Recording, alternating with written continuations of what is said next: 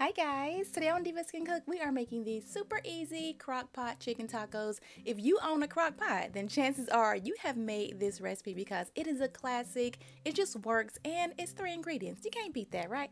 Alright, y'all ready? Let's go.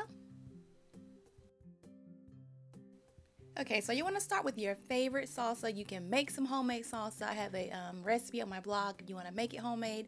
I'm using my favorite store-bought salsa. Go ahead and dump that into a bowl. And next we're just going to add in some taco seasoning mix. Now, for your taco seasoning mix, try to find one that just have regular basic ingredients. We don't want no MSG, all that weird stuff. Just go with the basics. It'll give it such a good taste. And if you prefer to make a homemade taco seasoning, I will list those ingredients on the blog post as well. But this this right here, y'all, this is a quick and easy. ain't got time. I'm busy. It's hot. I don't want to cook.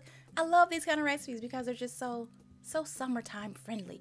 Okay, we're gonna mix this all together. It was smelling so good. Oh my gosh, yeah, so good.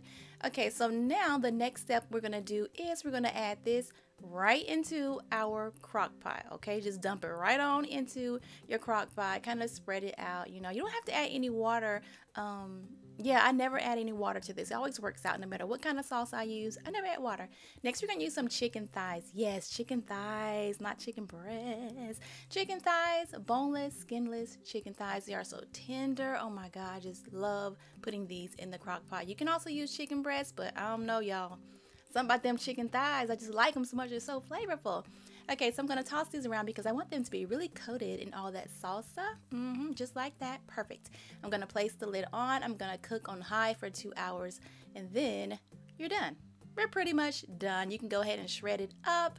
Um, I like to just go ahead and remove it from the pot. It's nice and hot and it pretty much shreds up by itself. It was pretty much falling apart just from me like stirring it up. But I'm going to place it on a plate. Get yourself two little forks and just kind of shred it up. All right, just like that. It smells so good. Give it a taste. You can add um, some extra seasonings if you want to. I like to add on a little bit of fresh lime and some cilantro and parsley. You might need to add more spices depending on your um, salsa, okay?